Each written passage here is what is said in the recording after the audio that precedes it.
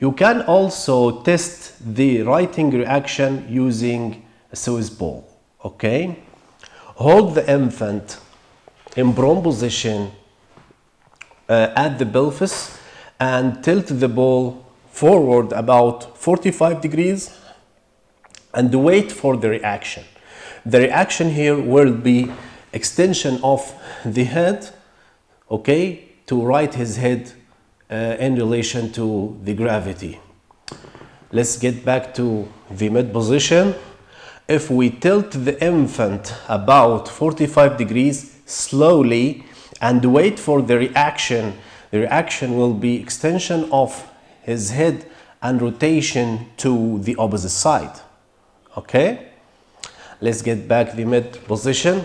If we tilt the ball to the opposite side, the infant will raise his head and rotate it to the opposite side. You can use the ball also by sitting the infant on it, grasping just under the axilla or at the pelvis, okay?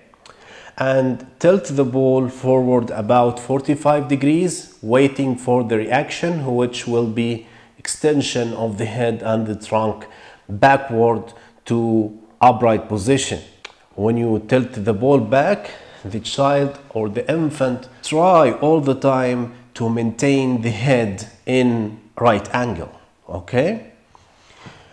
If you try to tilt the ball 45 degrees from this upright position, the reaction or the righting reaction will be uh, tilting the head to the opposite side to be in upright position or to be in right angle in relation to the gravity. The same thing happens when you tilt the ball to the opposite side. Okay? He will tilt his head and the trunk to the opposite side.